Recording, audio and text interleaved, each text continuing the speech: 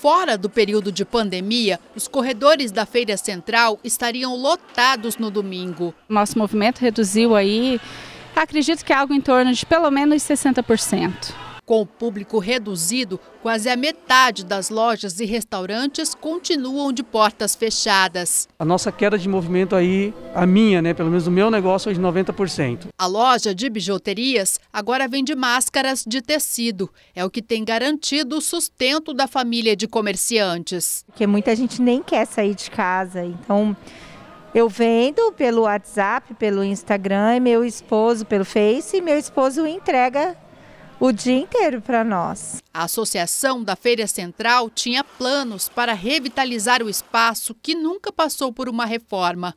A entidade venceu a licitação para concessão de uso, com isso, poderia buscar recurso da iniciativa privada. Mas aí veio a pandemia e paralisou tudo e a gente está aguardando aí do, do poder público para a gente fazer a assinatura desse contrato.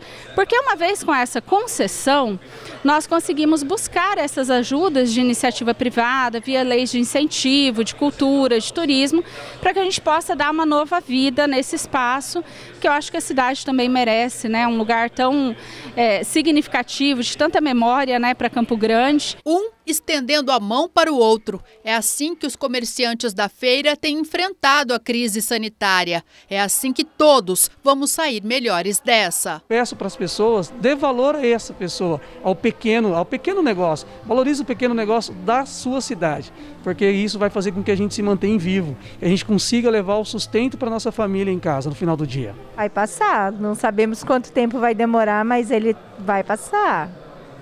E a gente quer persistir por isso.